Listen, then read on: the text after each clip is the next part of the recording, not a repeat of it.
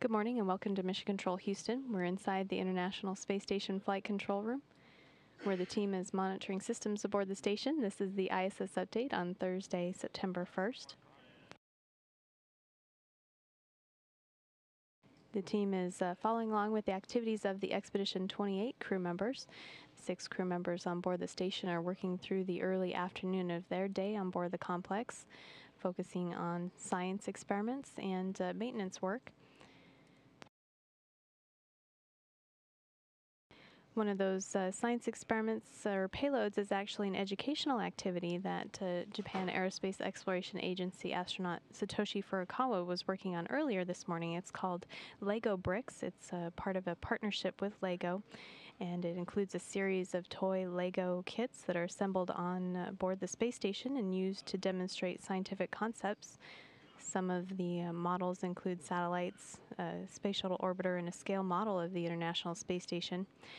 The uh, work that Furukawa was doing this morning involved uh, putting together a, an example of a living and working space on board the station so that he could talk to uh, students about uh, what it's like to live and work on board the space station.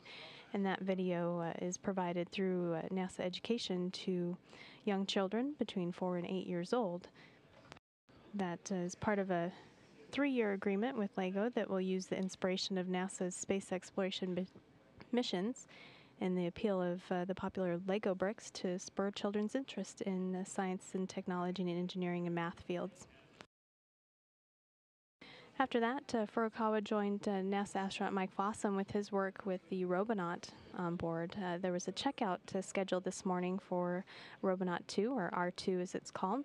It uh, was uh, to check out some of the sensors in the Robonaut and also do the first motion of the robot. There were some commanding issues that were associated with that work, and so Robonaut was at, not actually moved uh, this morning, but a lot of information was gathered and being able to uh, work through the systems and uh, the operations of a Robonaut on board the station as part of a technology demonstration. The uh, Robonaut is the first human like robot in space and a permanent resident of the International Space Station. It was developed jointly by NASA and General Motors under a cooperative agreement uh, to develop a robotic assistant that can work alongside humans, whether they are astronauts in space or workers at GM manufacturing plants on Earth.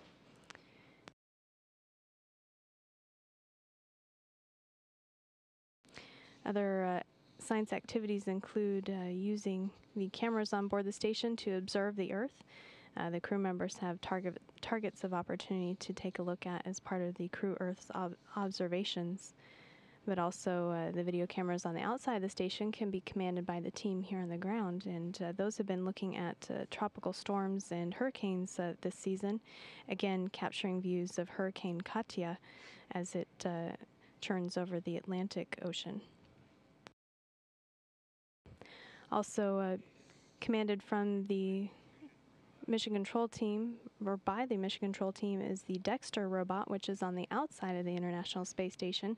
That has been uh, in motion uh, this week for a maintenance activity on the outside of the complex. Earlier this week, removing and replacing a failed circuit breaker box, uh, which was the first maintenance activity for that robot. Uh, the we, the work continuing on later today by the team will be to uh, close or move the container that had the new spare circuit breaker box in it and now has the failed one in, and also the robo- robotic refueling mission module. Those uh, two components have been on Dextre, the uh, robot, and uh, will be moved to the Express Logistics Carrier number four. That will be the permanent platform for that uh, robotic refueling mission, which was uh, delivered to the space station by a space shuttle earlier this year